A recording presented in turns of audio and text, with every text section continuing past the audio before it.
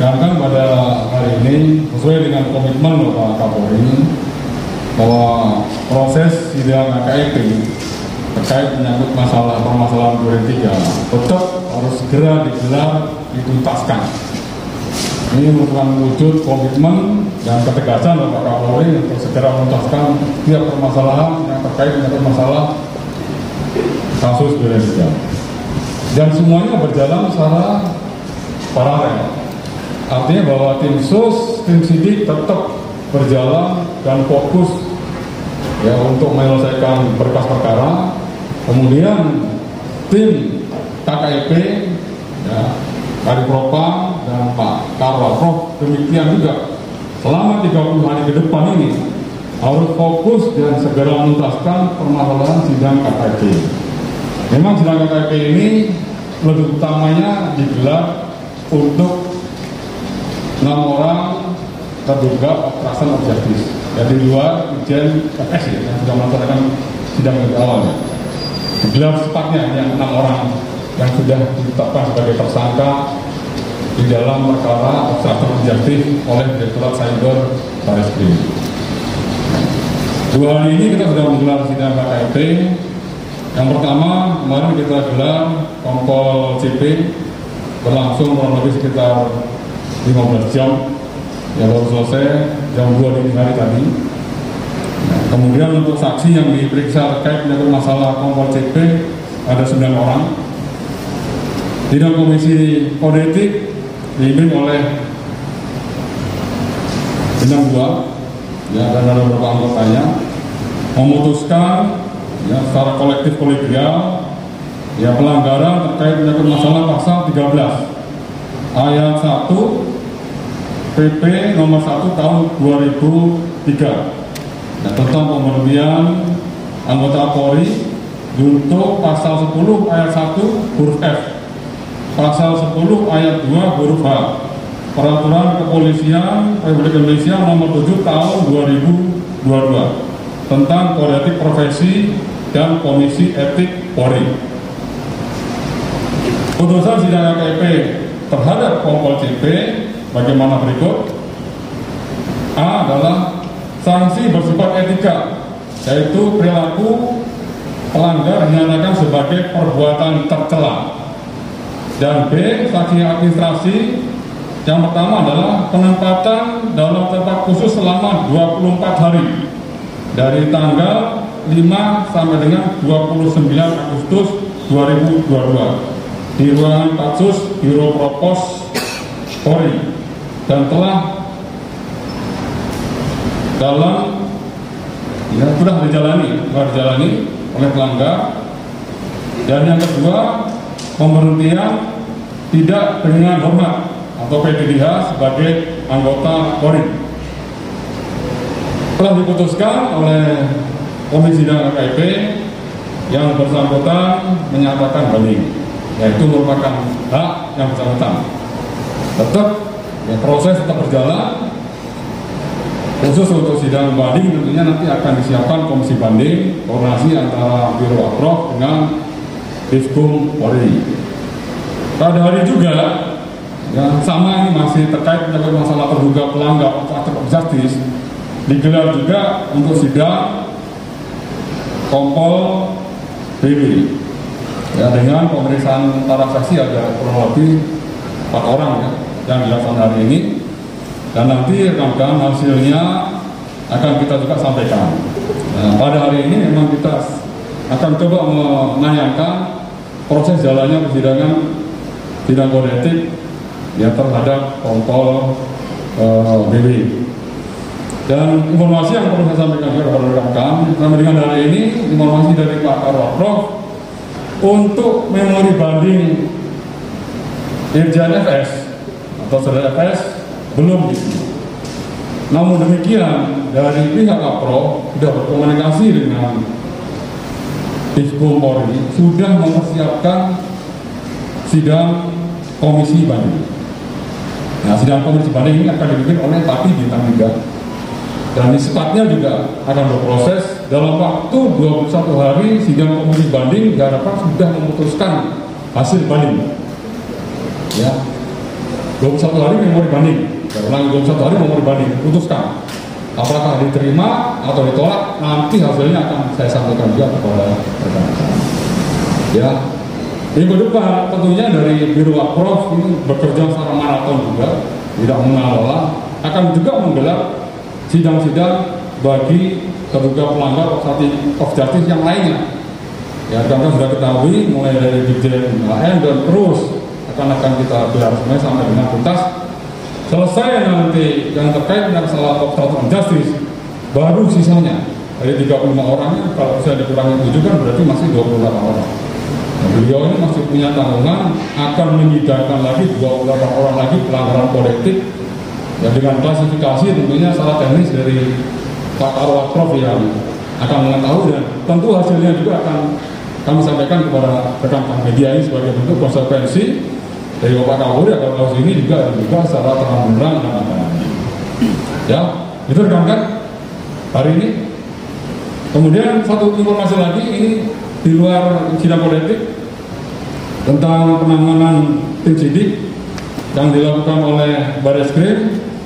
Informasi terakhir dari Pak Diri Widow yang disampaikan kepada saya untuk lima berkas perkara yang sudah dilimpahkan ke JPU dan lima-limanya sudah mendapat P19. Artinya bahwa fokus dari penyidik segera menuntaskan berkas perkara yang dikembalikan oleh JPU dengan berbagai catatan dan juga petunjuk dari jaksa penuntut umum. Nah ini yang jadi fokus kita. Ya, agar segera mungkin setelah berkas disempurnakan oleh penyidik dikembalikan lagi ke JPU, harapan kita juga dari hasil komunikasi yang intens ya semoga bisa segera P21 kalau P21 nanti akan kami sampaikan juga kepada teman-teman ya pelimpahan tahap kedua baik barang bukti dan tersangka nanti akan kita sampaikan ke ya. Tolong untuk bersabar. Ya kemudian terkait menyangkut masalah berkas of justice yang ditangani oleh Direktorat Cyber dengan menetapkan tujuh tersangka ini juga masih berproses ya untuk proses penyelesaian berkas. Targetnya mudah minggu depan berkas perkara terkait tujuh tersangka obstruction of juga bisa segera dilimpahkan ke JPU. Ya untuk selanjutnya nanti diteliti oleh JPU apakah berkas ini masih akan ada yang kurang, ada yang perlu disempurnakan nanti JPU yang akan meneliti kalau misalnya sudah lengkap ya berarti langsung bisa ke P21 kalau misalnya belum lengkap nanti ada P18 atau P19 kewajiban penyidik harus segera menyelesaikan dan menyempurnakan berkas perkara sesuai dengan petunjuk dari JPM. Ya, oke rekan-rekan, itu dulu.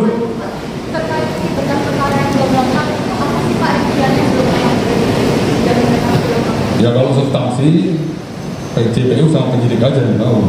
Dan saya hanya menyampaikan statement. Ya kan kan? Oke. Okay?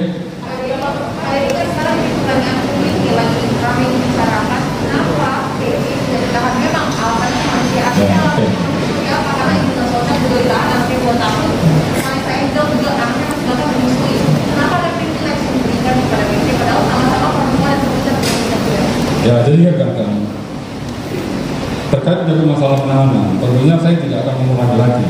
Jadi apa yang sudah disampaikan oleh Pak Dewasun sebagai Ketua Tim Sus, ya sesuai dengan masukan dari Pak Kabar Tim dan Pak Dirjen itu sudah sangat jelas. Ya tidak perlu saya harus mengulangi kembali. Kemarin Pak eh, Pak Ibarso sudah menyampaikan apa yang menjadi pertimbangan dari penyidik ya alasan kemanusiaan, kemudian ada permintaan dari pihak pengacara keluarga untuk tidak tahan, kemudian juga dengan pertimbangan yang bersangkutan juga tetap dikenakan wajib lapor dalam satu minggu dua kali dan juga sudah dilakukan pencekalan ya yang bersangkutan tidak bisa ke mana-mana ya. dan yang bersangkutan juga dari pihak pengacaranya korporatif apabila dibutuhkan setiap saat oleh penyidik siap. Ya saya belum berani menyampaikan panjang lebar. Tentunya pertimbangan penyidik itulah yang paling menentukan dan nanti apabila ada perkembangan akan saya sampaikan kepada teman-teman. Oke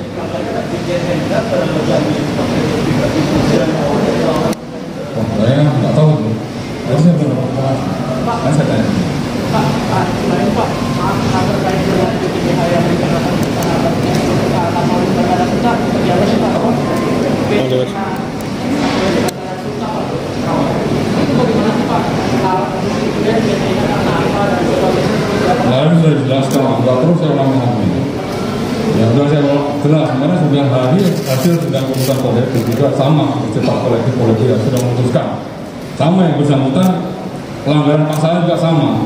Makanya dinyatakan perbuatan tercela. Tapi yang bersangkutan tidak mendapat tambahan hukuman administrasi berupa patsus tapi langsung di dan itu terbukti. Jadi fakta-fakta yang di persidangan ini sebagai dasar penilaian hakim untuk memutuskan sidang etik ya. Eh, seperti yang dari wanita dan apakah sudah sampai pada pemeriksaan saksi sidang etik pembebasan hari ini sudah masuk pada saksi keberapa dan sudah dimulai sidang beberapa proses Iya. Jadi tadi udah mulai kita uh, setengah sepuluh ya. Setengah sepuluh berapa?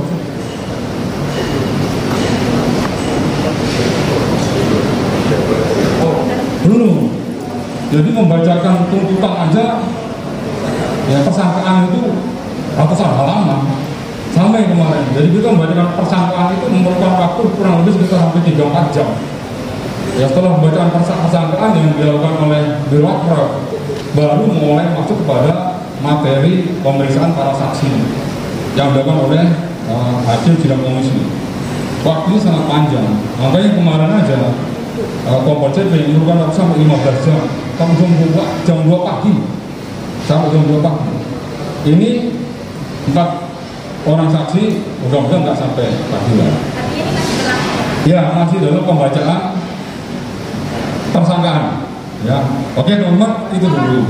Tadi Pak, eh, untuk sidang etik khususnya yang empat orang profesional itu yang terdekat itu siapa? Apakah Brigjen HK untuk Senin besok. Sama itu di Sambo itu belum. Hmm? itu di Sambo belum. Belum. Sidang berapa kan udah Jadi tentu akan disampaikan jadwalnya. Untuk hari Senin ada AKBP, oh iya. Eh, AKP, AKPIR. Habis AKPR, baru nanti AKBP sampai dengan nanti kalau berkasnya sudah selesai, tentunya untuk Brigjen AN juga nanti akan disampaikan. eh, kan istrinya Brigjen HK mungkin menerima surat dari Ferdi Sambo bahwa Brigjen HK tidak melakukan of justice itu gimana? Hak Ya, setiap orang terdakwa, tersangka sekalipun, saya dengan pasal 66, dia punya hak untuk mengikat, monggo silahkan. Tapi fakta persidangan lah yang dinilai oleh hakim. Hakim yang menilai semuanya berdasarkan fakta persidangan, keterangan para saksi dan alat bukti lain. Ya, baru nanti hakim memutuskan secara kolektif kolegial apa keputusannya. Itu dulu teman-teman. Nah, jelas, jelas. Oh,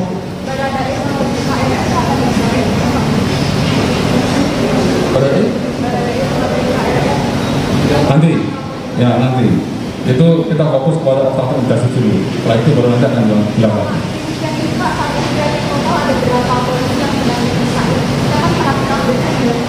sudah selesai 97 sudah selesai.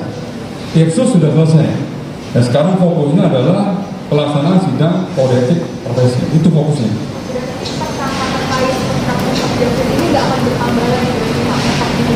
Saat ini seperti saat ini ya. Saat ini seperti itu. Tujuh. dulu ya tujuh dulu ya itu yang sudah sangat istilahnya mutlak ya. Dari hasil gelar perkara yang dilakukan oleh Direktorat Cyber itu yang sudah dilakukan. Ya apabila ada update nanti saya sampaikan. Kawan dua kami sekali aja. Oke teman-teman terima kasih. Dari Assalamualaikum warahmatullahi wabarakatuh